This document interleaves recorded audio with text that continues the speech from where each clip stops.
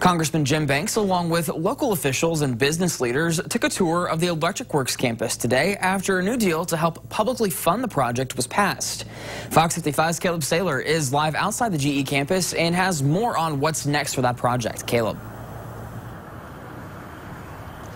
Yeah, Hunter, now that the new economic development agreement is in place for the Electric Works project, the developers can move towards the closing date and an eventual groundbreaking in 2021.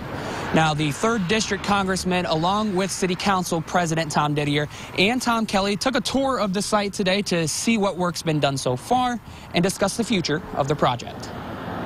But it's no secret that this project has been on has been on life support. The Electric Works project has new life now that a new commitment of $62 million is in place from the Redevelopment Commission.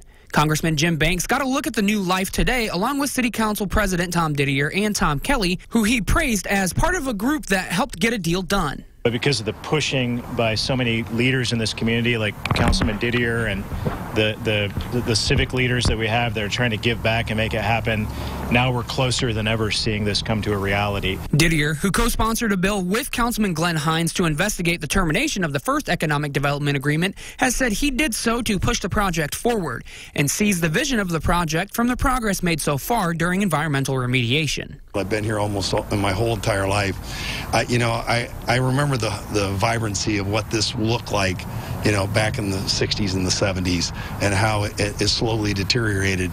The purposes change but the buildings are still here, and now they're going to have a different purpose. Plans for the project will still include the Do It Best HQ, a STEAM school, and other educational endeavors. But it has new partners like Tom Kelley. He says it was important for him to make sure the project got to the starting line so the community can be improved.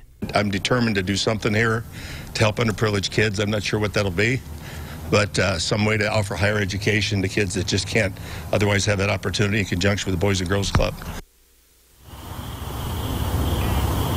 Now, there is still time until the closing date. That's slated for December 31st of this year, with groundbreaking set to begin January of 2020. Now, having spoken with Councilman Didier today, he did mention that it is possible that they hold off on voting to investigate the termination of the first economic development agreement until a later date this year. Reporting live in Fort Wayne, Caleb Saylor, Fox 55 News.